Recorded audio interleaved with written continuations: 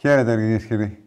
Χιλιάδες κόσμους συμμετείχαν σε μεγαλειώδεις συγκεντρώσεις σε πολλές πόλεις της χώρας για να τιμήσουν τη μνήμη των 57 ανθρώπων που έχασαν τη ζωή τους στο τραγικό δυστύχημα των Τεμπών. Πολίτες σε κάθε γωνιά της Ελλάδας, κρατώντας κόκκινα μπαλόνια και πανό με συνθήματα, έδωσαν την υπόσχεση πως αυτό το έγκλημα δεν θα ξεχαστεί και διατράνωσαν το αίτημά τους για δικαιοσύνη.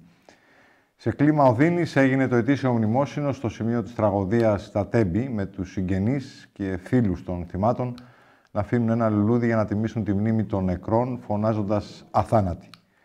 Στην Αθήνα πραγματοποιήθηκαν συγκεντρώσεις στην πλατεία Κλαθμόνος και στα Προπήλαια και ακολούθησε πορεία προς το Σύνταγμα.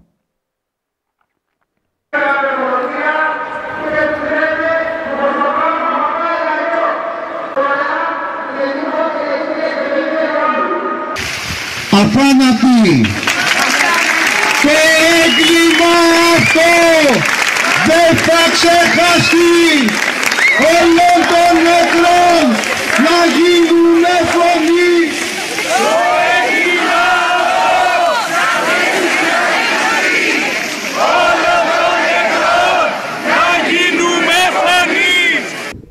Ένα χρόνο μετά μας κουνάνε πάλι το δάχτυλο ότι τα κάναν όλα τέλεια. Πώς τα κάναν όλα τέλεια όταν εμένα ο ανακριτής πριν δύο μήνες με κάλεσε για να ξαναπάρω πράγματα των κοριτσιών. Είμαι, είμαι ο πατέρας των δύο κοριτσιών και της Αγριπιάς. Πώς τα κάναν όλα τέλεια όταν εγώ έκανα πάλι κηδί. Τα κάναν όλα τέλεια να έρθουν στην δικαιοσύνη. Δεν θα πάω, να έρθουν στην δικαιοσύνη. Να αποποιηθούν τις πολιτικές τους ασυλίες, να έρθουν στα δικαστήρια όσο διαρκέσουν και μετά αν φταίμε εμείς πρώτα να τους ζητήσουμε συγγνώμη και να τους αποζημιώσουμε. Αυτή είναι η πραγματικότητα. Εγώ έτσι έχω μάθει να λειτουργώ στη ζωή. Νιώσαμε τώρα από τα λόγια των συγγενών και των υπολείπων. Πρώτη φορά έρθεις ξανά εδώ, στο τόπο του δυστυχήματος. Ένα χρόνο μετά τι ζητάς εσύ αγόρι μου; Εγώ σίγουρα ζητάω δικαίωση για όλους αυτούς που χάσαν ένα δικό τους άτομο. Ε, αυτό, να, να, να υπάρξει δικαιοσύνη. Εδώ Τίποτα που άλλο. βρισκόμαστε, θυμάσαι πού ήταν ακριβώς το βαγόνι σου; Ναι, Πού θυμάμαι. είναι; Έκανε γάμα ακριβώς από πίσω σας. Έκανε γάμα ακριβώς εδώ. Εγώ βγήκα προς το χωράφι. Ε, εδώ στο γάμα ήταν, ας το πούμε, εδώ πέρα όλη αυτή, όλα αυτά τα μέταλλα, οι φωτιές κτλ. Όλοι τρέχαμε προς τα γη για να απομακρυνθούμε και μετά όταν ήρθαν τα διασωστικά πετάξανε σκηνή και προσπαθούσαν να βοηθήσουν τους ανθρώπους γιατί υπήρχε και υγρασία, γλιστρούσε το έδαφος. Δεν έχεις ξεχάσει τίποτα. Τίποτα, τα θυμάμαι όλα. Είναι τόσο έντονες οι στιγμές. Ε, θα τις κουβαλάω μέχρι να, να φύγω, θα τις κουβαλάω μαζί. μου. Ήσασταν στο ίδιο. θα πάει στα σπουδά στην Απιθύτα, που είναι όνειρο του κάθε φοιτητή. Γιατρίνα έκασα, παιδί μου. Γιατρίνα, δεν έκασα μια τυχαία. Να ήταν σπουδαία παντού. Ή Έφτασε πολύ ψηλά, χωρίς γύρισμα. Δικαίωση, δικαίωση μόνο, δικαίωση. Να μπουν φυλακή. Όπως ένα απλός πολίτης, να μου τι ζητάμε; Ένα απλός πολίτης, όταν παραβιάσει κάτι, δεν μπαίνει μπροστά στη δικαίωση. Και εμείς αυτό θέλουμε από το Καραμαλή. Να μου δει εκεί μπροστά στα δικαστήρια, να μου λέει στα μάτια μου ότι αυτά τα τρένα ήταν ασφαλείς. Να μου πεις στα μάτια μου. Και θα του πει πήγαινε σπίτι σου. Μόνο αυτό θέλω, να έρθει το, δι- στα δικαστήρια εκεί και να μου το πει αυτό, όπως με το έδεικτε με το δάκτυλο και εγώ το πίστευα σαν μάνα ότι τα τρένα είναι ασφαλείς. Η κόρη μου φοβόταν να πάρει το λεωφορείο. Έλεγα πάντα, τι έπαθαν τα παιδιά της Βέρειας η Μαθίας, 15 χρόνια. Μαμά δεν ανεβαίνω στα κτέ, μόνο με το τρένο. Δύο γραμμές είναι αγάπη μου μέλη. Τίποτα δεν θα πάθω. Μεμονωμένα επεισόδια σημειώθηκαν στην Αθήνα με την αστυνομία να κάνει χρήση χημικών, αφού πρώτα ομάδα διαδηλωτών πέταξε βόμβες Μολότοφ. Οι άγνωστοι που ενεπλάκησαν στα επεισόδια τράπηκαν σε φυγή, ενώ δημιουργίες των ΜΑΤ παρατάχθηκαν γύρω από τη Βουλή. Τα επεισόδια είχαν συνέχεια και στην Πανεπιστημίου, στο ύψος της Ομόνιας, με τις αστυνομικές δυνάμεις να ανταλλάσσουν με διαδηλωτές κρότου λάμψης και Μολότοφ.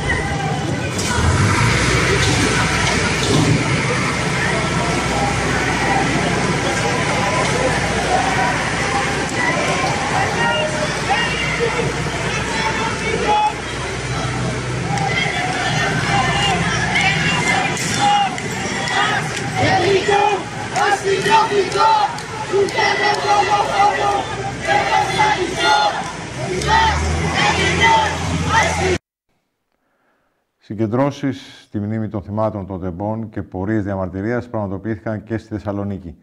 Φοιτητές, εργαζόμενοι και συνταξιούχοι συγκεντρώθηκαν στην πλατεία Αριστοτέλους και πραγματοποίησαν πορεία στο κέντρο της πόλης με προορισμό του Υπουργείου Μακεδονίας Τράκη. Με σύστιες κοιμάτιζαν οι σημαίες έξω από το Αριστοτέλειο Πανεπιστήμιο.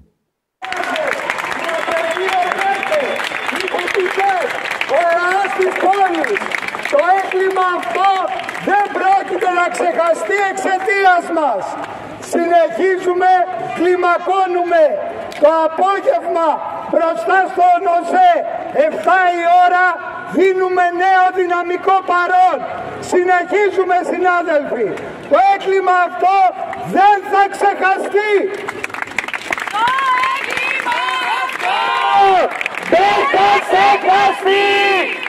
Όλο το νεκρό θα γίνουμε φωνή. Το έγκλημα αυτό δεν θα ξεχαστεί. Όλο το νεκρό θα γίνουμε φωνή. Ένταση επικράτησε το μεσημέρι της Τετάρτης έξω από τον ΟΣΕ στη Θεσσαλονίκη μετά το πέρα της διαδήλωσης μνήμης για το σιδηροδρομικό στοίχημα στα Τέμπη. Όταν η πορεία έφτασε έξω από τον ΟΣΕ, άτομα πέταξαν μπογιές και πέτρες στις εγκαταστάσεις του οργανισμού, με τις δυνάμεις των ΜΑΤ να προχωρούν σε χρήση χημικών και ρήψης κρότου λάμψης για να τα αποθήσουν. Τα επεισόδια συνεχίστηκαν προς το κέντρο της Θεσσαλονίκης, με ορισμένους να καίνε κάδους, όπως μετέδωσε το φεστιβάλ.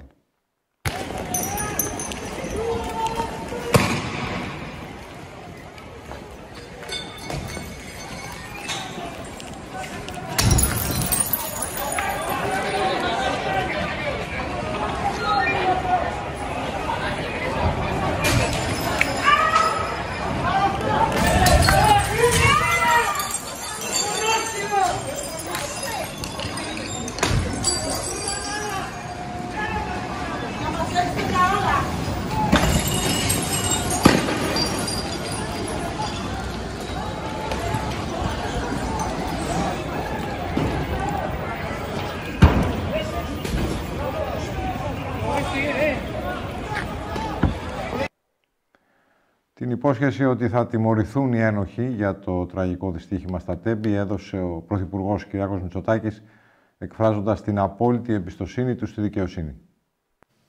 Ένα χρόνο από την τραγωδία των Τεμπών, οι πληγές από το χαμό των θυμάτων τις μένουν νοπές. Με το γολγοθά των δικών τους ανθρώπων, πάντα δύσκολο και ανηφορικό. Είναι αλήθεια ότι ο χρόνος πάγωσε την ώρα εκείνη που ο τόπος συγκρούστηκε με τοπικά με το χειρότερο εαυτό του. Ξέφυγε από τις ράγες του, λυγίζοντας από το βάρος μιας κρυφής πραγματικότητας. Και σε μια στιγμή είδε το παρελθόν να παράγει το αδιανόητο στο παρόν. Σε μια τέτοια μέρα η θλίψη δεν μπορεί να βαφτεί με χρώμα κομματικό. Και ο σεβασμός στην οδύνη απαιτεί οριμότητα και σύνεση. Στην υπέρβαση αυτού του εθνικού τραύματος ο καιρός δεν θα είναι σύμμαχος. Μπορεί όμως να προσφέρει κάποια ανακούφιση. Όταν αναρριθούν όλες οι αιτίες του κακού, όταν σβηστεί κάθε αμφιβολία, όταν διαψευστούν ακόμα και πιο παράλογες φήμες και κυρίως όταν τιμωρηθούν οι ένοχοι.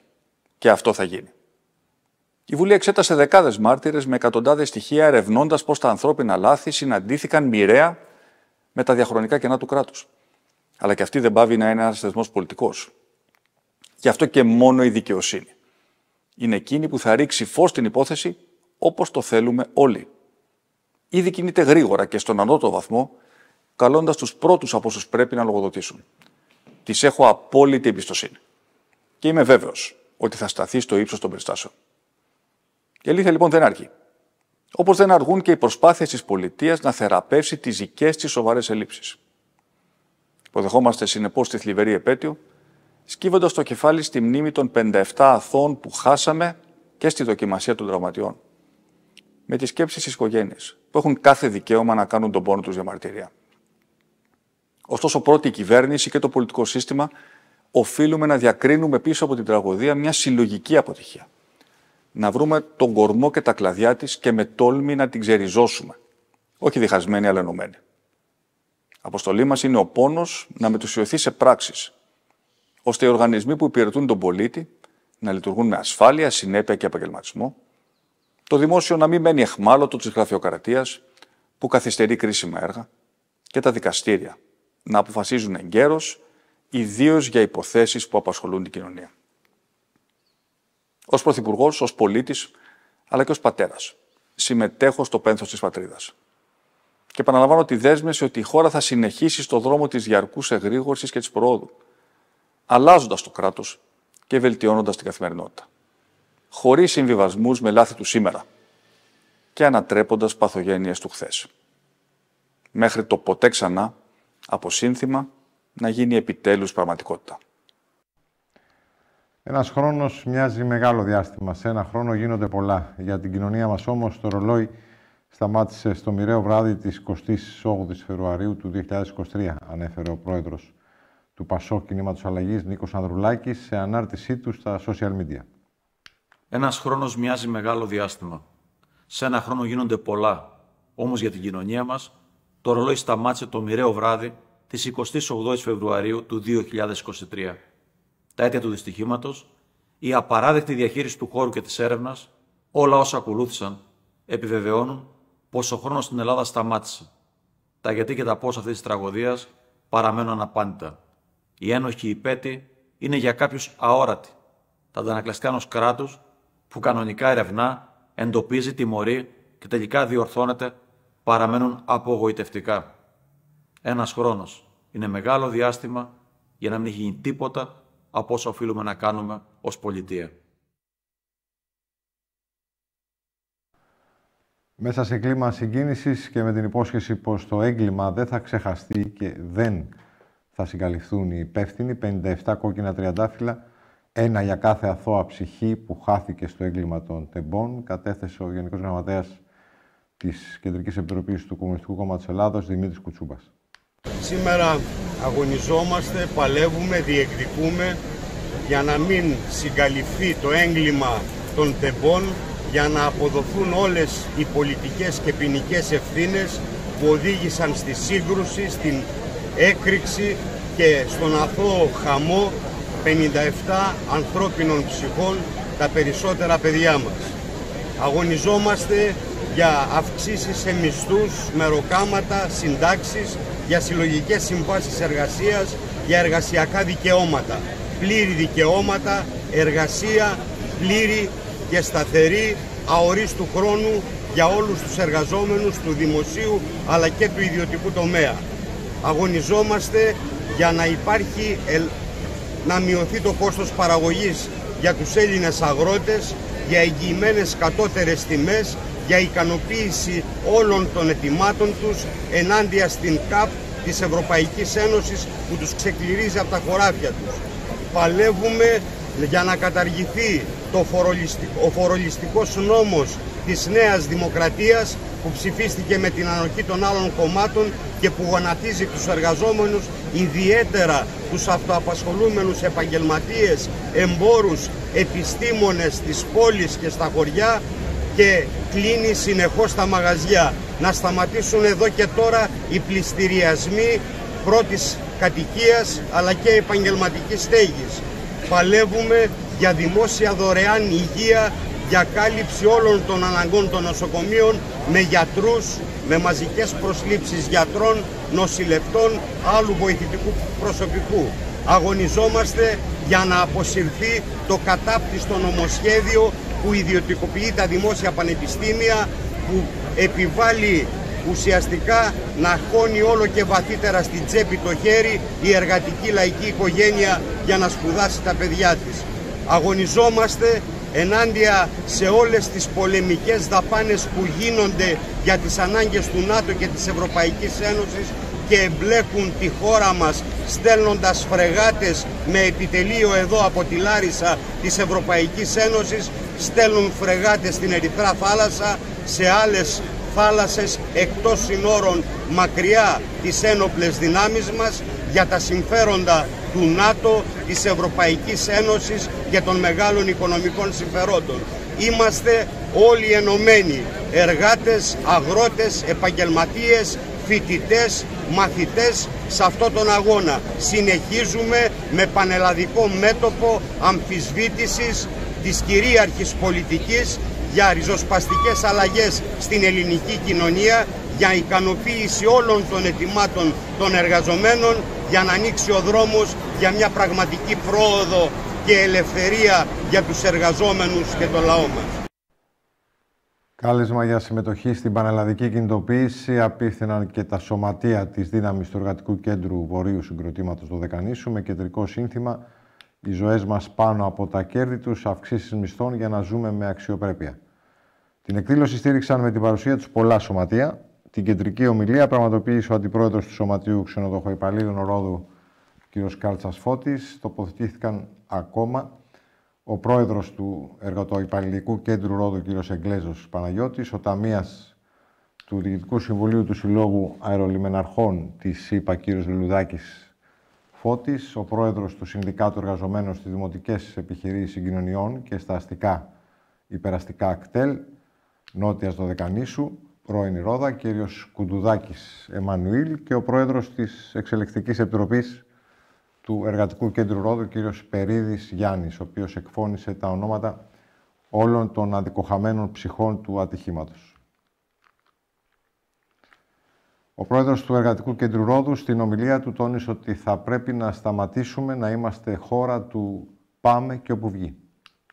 Το συνδρομικό δυστύχημα στα ΤΕΠΗ συνέβη στις 28 Φεβρουαρίου 2023, κοντά στον οικισμό του Ευαγγελισμού Λάρισσας, όταν η επιβατική αμαξοστοιχεία της εταιρείας Hellenic Trade συγκρούστηκε με τοπικά με εμπορική αμαξοστοιχεία της ίδιας εταιρείας. 28 Φεβρουαρίου 2024, ένα χρόνο μετά το συνδρομικό έγκλημα. Ένα χρόνο μετά τι, ένα χρόνο μετά, κανείς δεν έχει μάθει τι έγινε εκείνο το βράδυ. Ένα χρόνο μετά, κανείς δεν έχει πει τι έφτεξε. Ποιος έφτεξε; Ένα χρόνο μετά, οι ψυχές των 57 δικαιωθημένων συνανθρώπων μας των παιδιών μας, των δικών μας παιδιών, γιατί στη θέση τους θα μπορούσε να είναι το παιδί μας και το παιδί του καθενός από εμάς. Ζητούν δικαίωση. Όλα στο φως, πλήρης απόλυση ευθυνών και δικαιοσύνης. Δεν υπάρχει κανένας λόγος να κρατηθεί τίποτα κρυφό. Το αίτημα για δικαιοσύνη είναι καθολικό. Οι διαχρονικές ευθύνες όλων των κυβερνήσεων δεν πρέπει να μείνουν αντιμόρυτες. Εάν θέλουμε να πάμε παρακάτω ως κοινωνία, πρέπει να ενώσουμε τις δυνάμεις μας και να απαιτήσουμε τώρα δικαιοσύνη.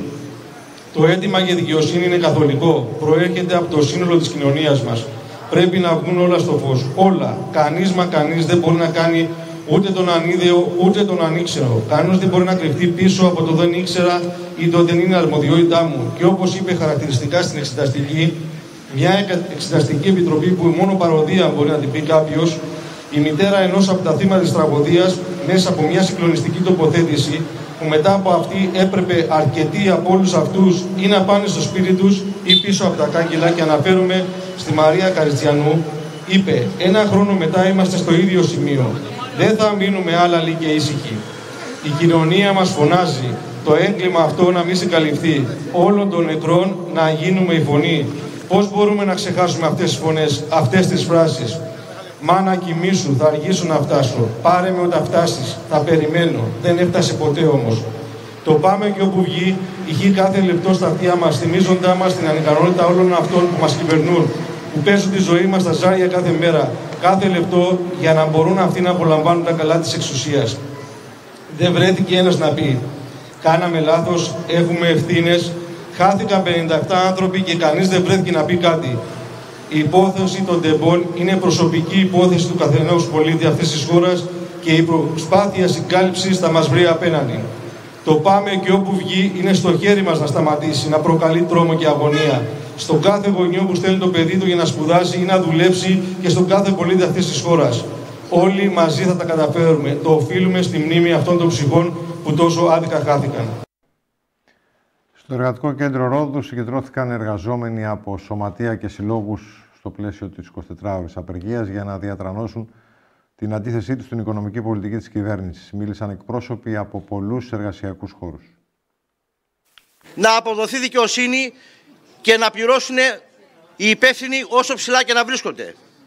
Δεύτερον, για να πούμε ότι φτάνει μέχρι εδώ. Ένας χρόνος συμπληρώνεται σήμερα, 28 του Φεβάρι, από την τραγωδία, από το έγκλημα των τεμπών. Ένας χρόνος και ακόμα οι υπεύθυνοι της τραγωδίας δεν έχουν λογοδοτήσει για τις εγκληματικές τους ενέργειες που οδήγησαν 57 συμπολίτες στην συντριπτική τους πλειοψηφία νέα παιδιά στο θάνατο και βήθησαν τις οικογένειές τους στο πένθος. Σήμερα Συμπληρώνεται ένας χρόνος από το έγκλημα στα Τέμπη που στήχησε τη ζωή σε 57 συνανθρώπους μας, οι περισσότεροι νέα παιδιά και φοιτητές.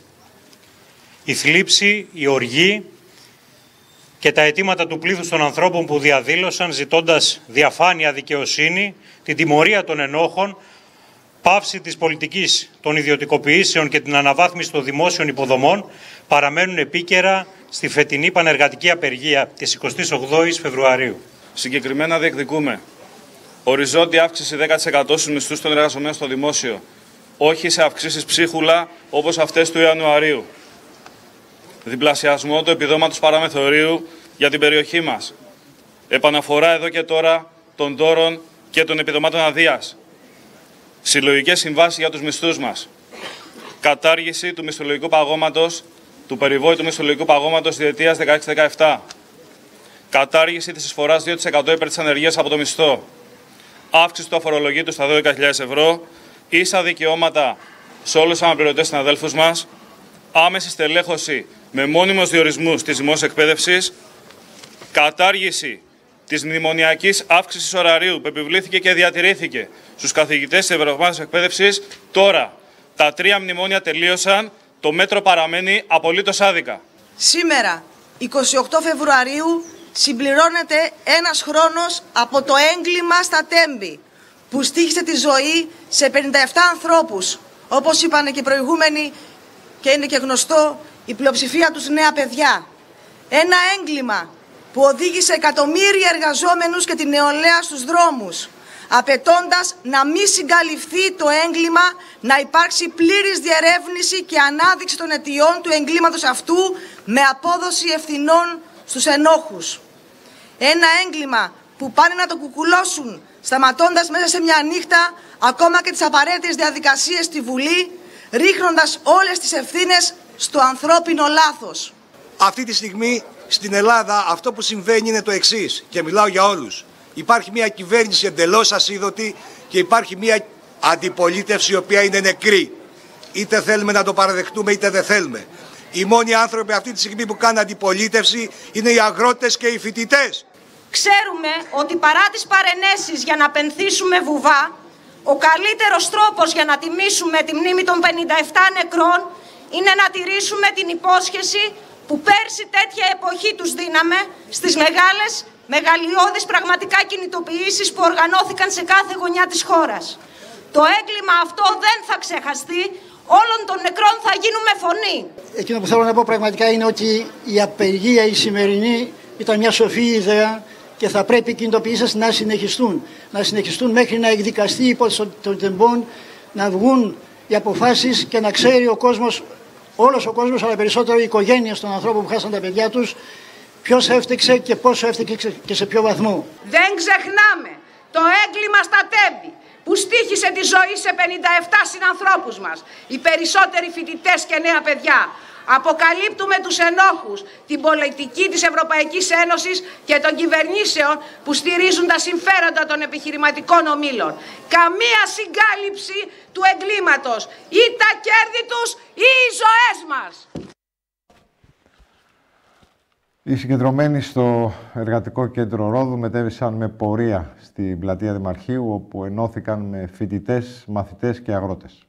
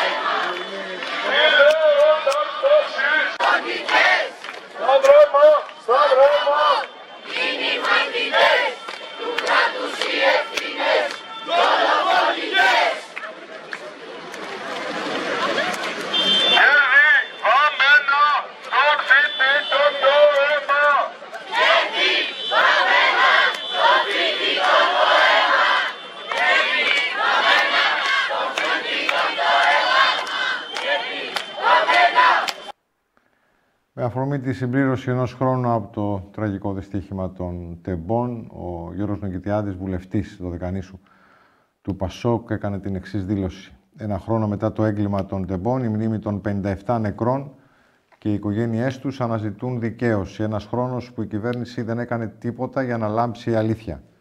Αντιθέτως, η κυβερνητική συγκάλυψη που εντέχνως κοινοθετήθηκε με τη στάση της πλειοψηφίας στην Εξεταστική Επιτροπή αποκαλύπτει τις ευθύνες που υπάρχουν και βαραίνουν τη Νέα Δημοκρατία. Υπήρξα μέλος της Εξεταστικής Επιτροπής από την οποία το ΠΑΣΟΚ αποχώρησε, καταγγέλλοντας τη μεθοδευμένη συγκάλυψη των πραγματικών αιτιών του εγκλήματος από την καταχρηστική άσκηση των δικαιωμάτων της κυβερνητικής πλειοψηφίας. Η αλήθεια όμως, όσες προσπάθειες και να γίνουν από την πλευρά των υπεύθυνων της τραγωδίας και αυτών που τους καλύπτουν, δεν υπομένει το μπάζωμα και θα αναδειχθεί.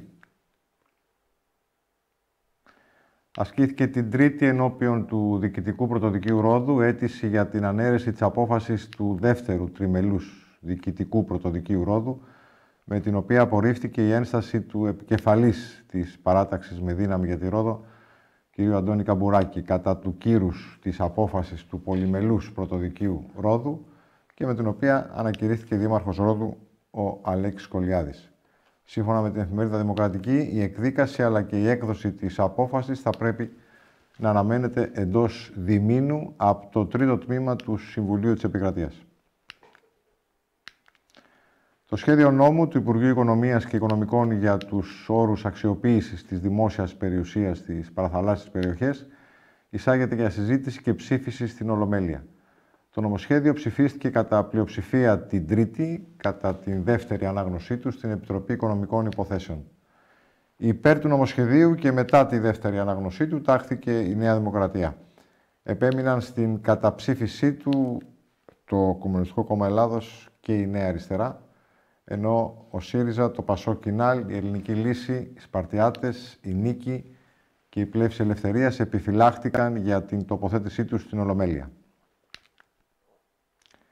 Σχετικά με το συζητούμενο νομοσχέδιο για την αξιοποίηση παραθαλάσσιων περιοχών, ο πρόεδρος της κοινοβουλευτικής ομάδας του ΣΥΡΙΖΑ, Σοκράτης Φάμελος, υποστήριξε ότι είναι ένα περιορισμένης οπτικής νομοσχέδιο με βασικό κίνητρο την εξυπηρέτηση κάποιων οικονομικών συμφερόντων και μεγαλύτερες εισπράξεις για το ΤΑΙΠΕΔ και το Υπουργείο Οικονομικών. Δεν λύνει κανένα πρόβλημα, αντιθέτως η εφαρμογή του θα διωγγώσει παραβατικές συμπεριφορές, είπε ο κ. Φάμελος και πρόσθεσε ότι Παράλληλα, η κυβέρνηση αποδεικνύει ότι δεν ενδιαφέρεται για την αυτοδιοίκηση. Προφανώς δεν μπορείτε να απεξέλθουν. Υπουργείο Εθνικής Οικονομίας είστε. Για πέστε μου, σας παρακαλώ, πόσες προσλήψεις έχετε εγκρίνει στην αυτοδιοίκηση για να μπορεί να τα απεξέλθει. Πόσους πόρους έχετε δώσει στην αυτοδιοίκηση για να μπορεί να τα απεξέλθουν; Αντιθέτως, τους χρεώσατε και με το ενεργειακό κόστος της ρήτρας αναπροσαρμογής και τώρα θέλετε να τους πάρετε και περιουσιακά στοιχεία όπως είναι η ΔΕΙΑ και τα δίκτυα ίδρυυσης. Αυτό κάνετε παντού. Και τώρα, αντί να συζητήσουμε για ένα σοβαρό θέμα, ο Αιγιαλός και η διαχείρισή του είναι σοβαρό θέμα. Αντί να συζητήσουμε λοιπόν σε ένα ολοκληρωμένο πλαίσιο, είπε προηγουμένως ο κύριος Θεοχάρης ότι ισχύει εδώ και πολλά χρόνια η Σύμβαση Βαρκελόνης. Ε, και αφού είστε άριστοι, γιατί δεν τη φέρνετε να τη συζητήσουμε; Πετε μας εσείς γιατί τη φέρνετε. Εμείς κρυθήκαμε ως κυβέρνηση, γιατί τη φέρνετε; Αφού εσείς είστε άριστοι, θα τα αλλάζατε όλα. Αντί λοιπόν να κάνουμε μια συζήτηση σοβαρή, γιατί είναι ασόβαροι όσον αφορά τα σημαντικά ζητήματα της πολιτικής, έρχονται και λένε να διαχειριστούμε για λίγο τις εισπράξεις. Αυτό ουσιαστικά είναι. Κάποιοι να βγάζουν πολλά και τάχατε να βγάζει και το δημόσιο κάποια επίσης. Δεν φέρνεται λοιπόν καμία ρύθμιση για την κλιματική κρίση, για τη θαλάσσια χωροταξία, για τα θαλάσσια οικοσυστήματα, για το παράκτιο οικοσύστημα, για τη Σύμβαση Βαρκελόνης, για αυτά που λέει η Ευρώπη και μας φέρνεται λοιπόν ένα περιορισμένο οπτικής νομοσχέδιο μόνο για κάποια οικονομικά συμφέροντα. Να ξεκαθαρίσουμε κάτι.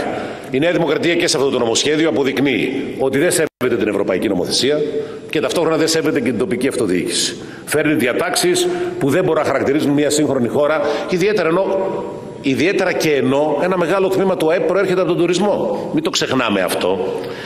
Φέρνει λοιπόν διατάξεις που θυσιάζουν την ανάγκη εξυγχρονισμού του πλαισίου διαχείρισης των παράκτων οικοσυστημάτων είναι πάρα πολύ μεγάλο ζήτημα.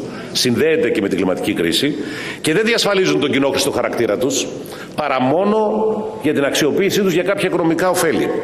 Για κλιματική κρίση ούτε λόγος. Για τα υπόλοιπα τα οικοσυστηματικά θέματα επίσης. Για το ότι αυτή η παράκτια ζώνη είναι ασπίδα για την κοινωνία μας επίσης. Και για την κοινωνία και για την οικονομία. Και τι λέει ο κύριος Θεοχάρης, Τον άκουσα και προηγουμένως. Αυτό είναι ευθύνη άλλου Υπουργείου. Δηλαδή τώρα έρχεται εδώ υπουργός να εισηγηθεί νομοσχέδιο και παραδέχεται ότι είναι λοιπέ γιατί δεν συνεργάζονται τα Υπουργεία. Αυτό έκανε ο κ. Θεοχάρης. Παραδέχτηκε ότι είναι λοιπέ το νομοσχέδιό τους γιατί δεν μιλάει το Υπουργείο Εθνικής Οικονομίας με το Υπουργείο Περιβάλλοντος και Ενέργειας. Το είπε πριν από λίγο. Δεν μας κάνετε κριτική, είναι άλλο Υπουργείο δουλειά. Δηλαδή δεν πάνε στο ίδιο Υπουργικό Συμβούλιο. Δυστυχώς, κυρίες και κύριοι βουλευτές, πάνε στο Υπουργικό Συμβούλιο για να βγάλουν φωτογραφίες και να κάνει δήλωση στις κάμερες ο κ. Μητσοτάκη.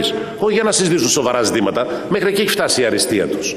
Και τελικά η τοπική αυτοδιοίκηση, το περιβάλλον, η οικονομία τιμωρούνται. Τιμωρούνται και σε αυτό το νομοσχέδιο.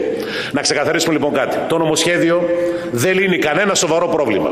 Από αυτά που πράγματι υπάρχουν, ακόμα και στην οριοθέτηση των χρήσεων γης στην παράκτια περιοχή, υπάρχει ζήτημα. Πρέπει να το επιλύσουμε. Την τελευταία του πνοή άφησε σε ηλικία 85 χρόνων ο Ηλίας Λογοθέτης. Την είδηση του θανάτου του έκανε γνωστή πριν από λίγες ώρες με ανάρτησή του ο γιος του, επίσης ηθοποιός Αλέξανδρος Λογοθέτης, ο οποίος σε ένα story στο Instagram έγραψε σε μια μαύρη σελίδα «Αντίο γαλάζια μάτια». Ο Ηλίας Λογοθέτης γεννήθηκε στη Λευκάδα στις 15 Απριλίου του 1939. Ήταν απόφυτος του Τμήματος Πολιτικών Επιστημών της Παντίου ήρθε σε επαφή με το θέατρο μέσω του Θεάτρου Τέχνης του Καρόλου Κούν, από όπου αποφύτησε το 1967.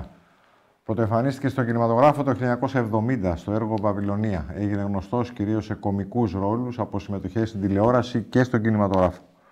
Συνεργάστηκε με τους θεάσους Γιάννη Φέρτη, Ξένιας Καλογεροπούλου, Κάκιας Αναλυτή, Κώστα Ριγόπουλου, Νίκου Ξανθόπουλου, Θανάση Βέγκου, Άγγελο Αντωνόπουλου, Μιράντας Κουνελάκη με το αμφιθέατρο του Σπύρου Ευαγγελάτου και άλλα πολλά. Συμμετείχε σε πολλά θεατρικά έργα στην τηλεόραση, στο πιο γνωστό θέατρο της Δευτέρας στην ΕΡΤ και είχε λάβει μέρος επίσης σε μουσικές παραστάσεις όπως το αφιέρωμα στο Μιχάλη Σουγιούλ. Μέχρι την 5η 29 Φεβρουαρίου μπορούν να πληρώσουν τα τέλη κυκλοφορίας οι ιδιοκτήτες οχημάτων που έχουν αφήσει ανοιχτή αυτή την εκκρεμότητα μέσω της πλατφόρμας MyCar. Διαφορετικά, κινδυνεύουν να βρεθούν αντιμέτωποι με αυστηρά πρόστιμα και κυρώσεις.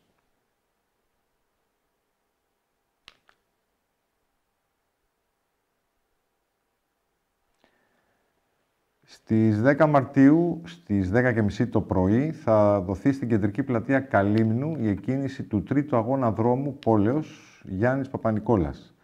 Στη μνήμη του αείμνηστου ιατρού μικροβιολόγου Γιάννη Παπανικόλα, αθλητή και φίλου του κλασικού αθλητισμού που έφυγε πρόωρα από τη ζωή.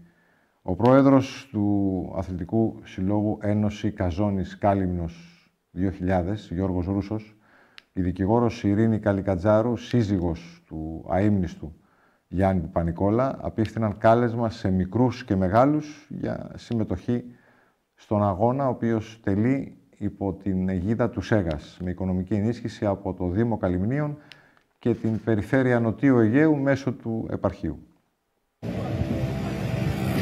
Κύριε Ρούσο, κύριε Καλικατζάρου, καλημέρα σας. Στις 10 Μαρτίου υπάρχει μια, ένας σημαντικός αγώνας που γίνεται κάθε χρόνο. Θέλω όμως να μας πείτε εσείς περισσότερες λεπτομέρειες και να αρχίσουμε κύριε Καλεκατζάρου με τον ε, κύριο Ρούσο. Σας ακούμε κύριε Ρούσο. Καταρχήν ευχαριστούμε που είστε εδώ για να προβάλλουμε αυτό το γεγονός. Είναι ένα κτίρια διαδικασία αυτή να τη μάθει ο κόσμος. Ε, προσπαθούμε εδώ και κάποια χρόνια να κάνουμε κάθε χρόνο τον αγώνα δρόμου Γιάννης Παπανικόπουλος. Για όσους ίσως έχουν ξεχάσει, για όσους δεν το ξέρουν, να πούμε απλά ότι ήταν ένα διαμάτι της τοπικής μας κοινωνίας, ένας πολύ καλός γιατρός ε, στο μικροβιολογικό εργαστήριο που λέει ακόμα σήμερα, ε, ένας άνθρωπος σπάνιος, ο οποίος μέσα στις σπανιότητες του είχε και μια καλή τρέλα, ωραία τρέλα όμως. Έτρεχε και το ευχαριστιότανε και για όσους νομίζουν ότι δεν είναι τίποτα αυτό, εμείς λέμε ότι είναι φορέας αξιών αξίες της αγωνιστικότητας, της συνέπειας, του βάζω στόχο και τον πετυχαίνω, διάπλασης χαρακτήρα ενωδίας. Και αυτός είναι τελικά ο στίχος. Ε, όταν μας έφυγε άδικα, ε, μαζί με τον Νικόλα τον Κοφιά προτείναμε στην κυρία Καλικαζάρου και φυσικά το δέχτηκε να καθιερώσουμε αυτόν τον αγώνα και προσπαθούμε κάθε χρόνο να το κάνουμε. Ξεκινήσαμε απλά, ε, καταφέραμε καταρχήν και με τον αίμνηστο σεβαστή για τον Βασίλη να ενταχθεί στον προγραμματισμό των επίσημων της ΕΓΑΣ και στη συνέχεια να το κάνουμε όσο γίνεται πιο σωστά. Τέλος πάντων, ας μην μπούμε σε λεπτομέρειες, περάσανε τα χρόνια. Φέτος φαίνεται να έχουν επιτευχθεί κάποια χαρακτηριστικά τα οποία δείχνουν ότι επιτέλους έγινε θεσμός. Όπως; Οφείλει αυτό να φανεί και του χρόνου βέβαια και του αντίχρονου και πάει λέγοντας. Και κάθε χρόνο. Ναι, αλλά φέτος είμαστε σε πληρότητα ας πούμε, οργανωτική. Υπάρχει περισσότερος κόσμος εθελοντής που ασχολείται όπως ο, ο Μιχάλης ε, ο Γουρλάς που έχει το υποσκήνο και άλλα παιδιά. Ε, χαρακτηριστικά δηλαδή άνθρωποι που τρέχουν τώρα όπως ο αείμνηστος, ο γιατρός ε, και μπαίνουν εθελοντικά στην όλη υπόθεση. Η κυρία Γλυκαζάρου είναι συνέχεια δίπλα και προσφέρει, χορηγεί ε, διάφορα πράγματα το μικροβιολογικό εργαστήριο δηλαδή, ε, από μπλούζες ε, μέχρι τα, ματ- τα μετάλλια, τα κύπελα κλπ. Ο Μιχάλης ο Μιλάς, ε, προσφέρει και το ήδη για πρώτη φορά μετάλλια την ώρα που θα τερματίσει κάποιος άσχετα τη θέση που θα έχει πάρει θα παίρνει και ένα μετάλλιο για ένα μυστικό. Στο σημείο αυτό πάμε σε ένα σύντομο διαφημιστικό διάλειμμα και επιστρέφουμε με την αθλητική